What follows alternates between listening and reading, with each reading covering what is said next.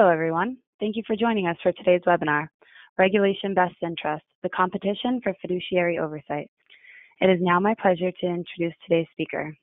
Greg O'Gara is a senior analyst with Aite Group's wealth management team, where he is focused on retail clearing, operations, financial advisor technology, and other topics across the wealth management industry.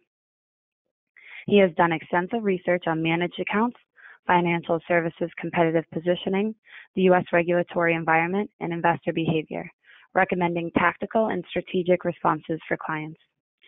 Joining Mr. O'Gara today is Micah Hauptman. Mr. Hauptman is the Financial Services Counsel at the Consumer Federation of America, where he performs research and engages in advocacy on investor protection and systemic risk issues, focusing primarily on a fiduciary standard for investment professionals adequate funding for financial market regulators, credit rating agency regulation, investor arbitration, and financial market structure.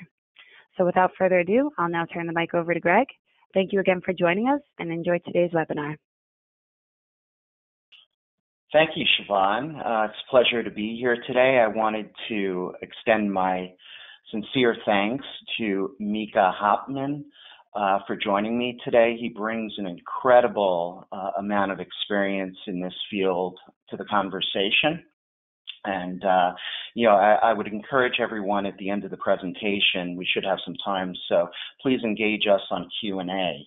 Uh, for today's agenda, I'm going to briefly touch on the regulatory background of best interest, uh, go into some of the key terms of best interest and Form CRS, uh, provide a new digital platform perspective.